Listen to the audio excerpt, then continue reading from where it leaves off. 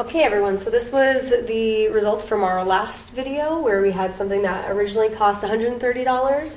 The discount was 5%. In our last video, we learned how to calculate that discount amount. We figured that 5% of 130 was $6.50. So our sale price would be $130 minus $6.50. We get $123.50 for the sale price.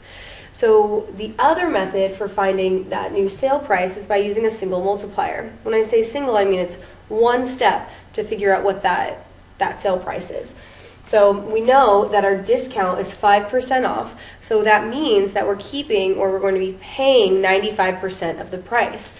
Our original cost is 100% of the price, and if we subtract the 5% cost, that means we're going to have 95% of the, the price left over. So if we want to know how much is something going to cost with a 5% discount, we can take that original amount and multiply it by an equivalence of 95%. So let's try that.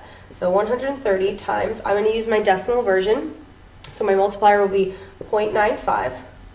We're going to multiply it out. We get 0,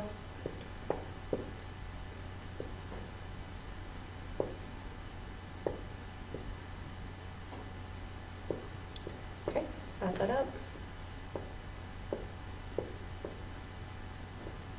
And count our decimals, we move over twice, and our answer, again, is $123.50. So that is the way that we use a single multiplier to find the sale price of a discounted item.